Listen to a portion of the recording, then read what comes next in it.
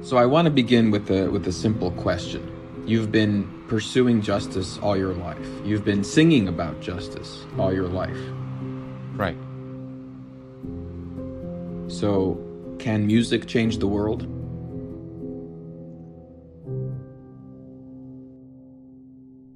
The Armenian hard rockers System of a Down are political and popular.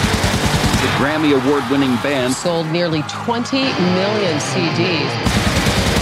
It's time to make the Turkish government pay for their crime! Calling on the world to recognize the forgotten Armenian genocide of 1915, but also taking on Armenia's own government. The people are out there tired of a corrupt regime and they want it to change. It's our responsibility to tell you these things and to rock you at the same time. The things you're talking about are reflecting what's really going on. A lot of people just don't want to talk about it. Not talking about it doesn't make it go away. Armenia is going through this injustice and this hold on the populace and their destiny was happening by a handful of corrupt elitists. I think Armenians in the diaspora craved somebody to get real political change.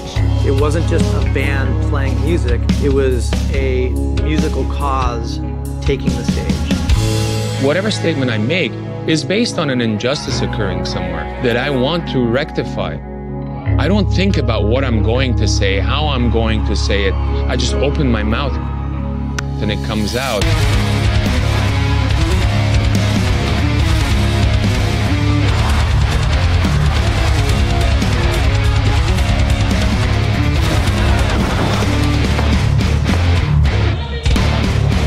Music changes our intuitive hearts, and our logic being a part of the process can change the world.